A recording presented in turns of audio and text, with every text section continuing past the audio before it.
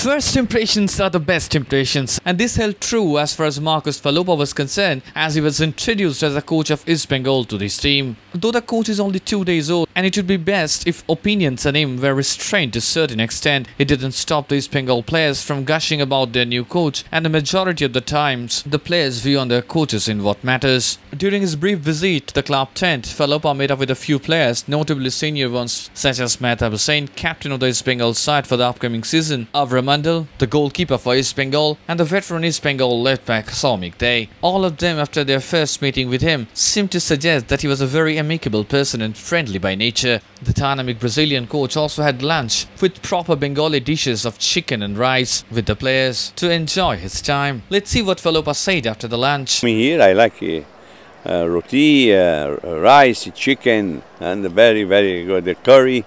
Uh, lovely. After having such a great time, let's see what the East Bengal players are feeling about their new Brazilian coach. শুরুতে খুব একটা বেশি লাগবে না খুব ইয়ার্কি মারতে পারেন মানে খুব মিশিয়ে যেতে পারেন এটাই আর কি কিছু না বললো আলাদা কিছু নেই হারা গোলকিপার লাইন আপ খুবই টাফ সেই জন্য তোমাকে হার্ড ওয়ার্ক করতে হবে